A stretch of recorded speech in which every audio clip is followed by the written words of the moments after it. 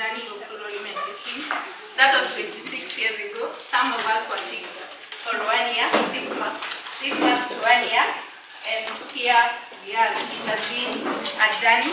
So currently we have programs, but we are active in four counties.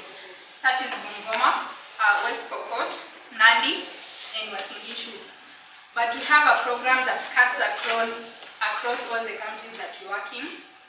That's the mentorship and education support program. We pick girls from all over the country. We do not have specific counties. So under the five pillars, the first one on peace building and conflict mitigation. And first of all, all the five pillars, they're interlinked. So on peace building and conflict mitigation, Mary shared. So Rural Women promotes gender sensitive peace building. Uh, and that was that's why the organization was initiated in 1992, and that's why we have the award. So currently on peace building, we have programs in Uasin Gishu, we have programs in West Pokot on peace building, on women, peace and security, and Clinton and the other programs are going to share shortly on what we do and the main achievements. On women human rights, that, that we've been active in advocating for institutional reforms, creating awareness on the rights of women and girls in the community. But we do not work with women alone. We involve men. We have the male champions. That's why today we also have men among the uh, celebration. So they've been very supportive in advocating for protection of women and girls from violations. And, and the county government and the national government and other partners implementing uh, policies and formulation of policies that work in favor of women and girls. So again, we are going to hear briefly on the main achievements under the pillars. So on mentorship and education support, uh, it's a program that cuts across all our pillars. We mentor young women to young women and men to take part in peace building. We also offer financial support to girls in high school and some in college. And the girls who are beneficiaries of, of our programs are uh, already giving back in their communities. Some of them are in West Pokot, teaching, even establishing their own uh, mentorship programs in their villages.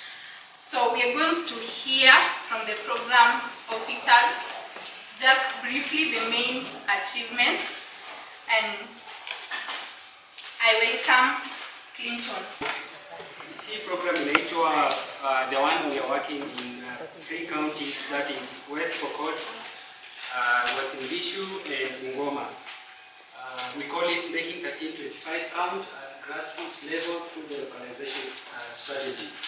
So basically this program is about localizing the Kenya National Action Plan on women, peace and security. Na hivyo tumekuwa tukifanya kazi sana uh, uh, katika hizi kaunti tatu uh, kuhakikisha kwamba local communities wanaelewa Kenya National Action Plan ni nini, tukiwaka tukiwork pamoja pia na county governments kuhakikisha kwamba pia wanaelewa na- National Action Plan ni nini, na pia waweke mikakati ya kuhakikisha kwamba National Action Plan imezingatiwa katika siku zijazo. I'll talk about the girl education support and mentorship. If you heard Mary speaking, you must have heard her talk about the mentorship and girl education support pillar. So under the pillar, it's majorly aimed at helping young girls from vulnerable communities to access education and also helping the young girls from running away from the FGM, early marriages, to be able to access education and, change, and also change their lives and the direction of their lives. For the community scorecard, we also did something called social accountability, where we did a community scorecard in three health facilities. One was in Kaptumo Health Dispensary, another one was in Mebeki Karona Health Dispensary, and one was in Kaptumo ECD Dispensary. Uh, some of the successes and some of the best practices that we received in this project was in Kaptumo Dispensary. The community, just like Lani, assessed the dispensary. After assessing the dispensary, immediately after two weeks, when they gave their submissions and also their recommendations to the county government, they received a nurse and also a lab technician to the dispensary. And also for the Kaptumo ECD, once they were able to do also a scorecard on the ECD, as we speak right now, they have one new classroom and also the students are learning in that. Yes. Thank you so much. The, the program of research for rural Muslim. That's just a brief, a summary of the achievements of the current programs that we had. But in the past, we've had so many other programs. You can always check them on our website. So today, we are celebrating an award. And this award, I'm, I'm, I'm, sharing a brief background of the award. The national, from the program that we have, on top here, it is, it is DIAR Award Celebration Program. Na chini yake, Diversity and Inclusion Best, Best NGO Program Award on Peace and Cohesion 2019. So on April 12th, there was a there was an award ceremony in Nairobi convened by Daima Trust in partnership with the NCIC, Institute of Economic Affairs, Safaricom, Kenzen, and other partners. Can check them from their website. Um, and Rural Women was given an award. Why?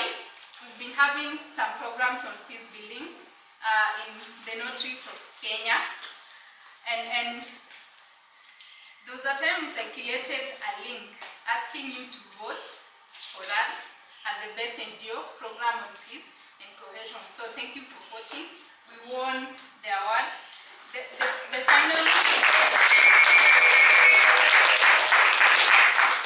Thank you. So the finalists included uh, Hodi Africa, Hodi Africa, uh, Peace Ambassadors Kenya, PeaceNet Kenya, Ambassadors Integration Organization, Interregional Peace Network.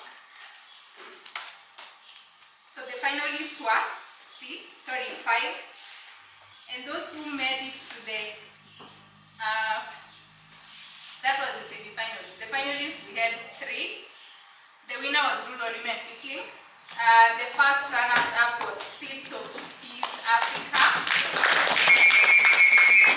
Then Amani Women Network. So we won this award because of your support. We really want to thank you so much. So I'm going to hand over the award to the board chair, then she'll pick it from there.